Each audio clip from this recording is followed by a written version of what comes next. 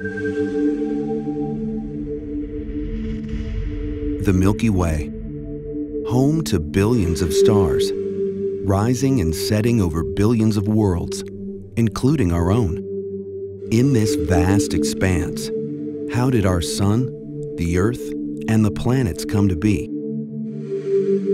In recent decades, our understanding of the solar system's evolution has greatly improved, but deep questions remain. To answer those questions, astronomers are preparing to visit someplace very small. Asteroid Bennu. A lump of rock and organic material, the early building blocks of the solar system, of Earth, of us. Bennu is a time capsule and its journey takes us way, way back, four and a half billion years. The raw ingredients of Bennu and our solar system originated in a stellar nursery, a vast cloud of hydrogen, helium, and dust. Our own sun doesn't yet exist. Nearby are hot stars like this one, quickly burning up its fuel and destroying itself in a colossal explosion called a supernova. The explosion destabilizes our cloud, causing it to collapse. In the geologic blink of an eye, a hundred thousand years, gravity and angular momentum flatten the cloud into a swirling disk. In the center, where molecules crash together tightest, a protostar revs up to incredible pressures and temperatures. Deep within the disk, clumps of dust not much larger than a grain of wheat are flash heated into droplets of molten rock, called chondrules. The source of this heat remains a mystery. Chondrules are destined to become the building blocks of the solar system.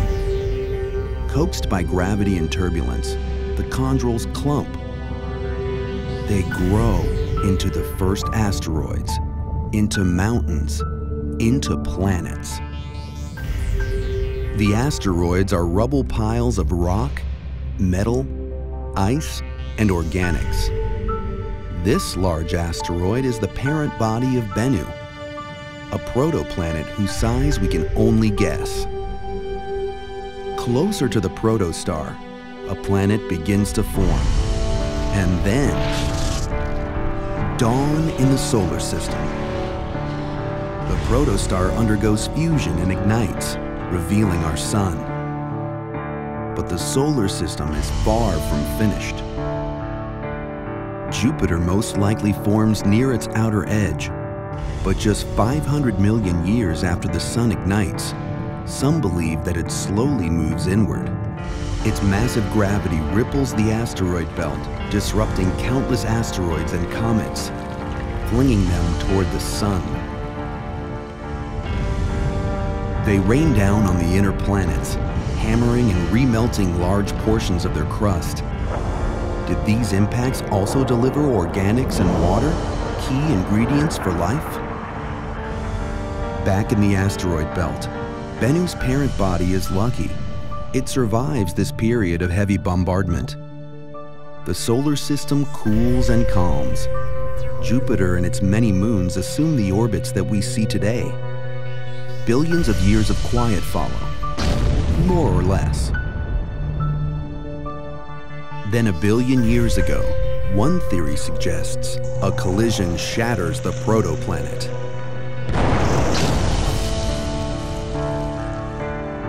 some of the debris loosely coalesces into a new, smaller body, Bennu. But Bennu will not stay in place.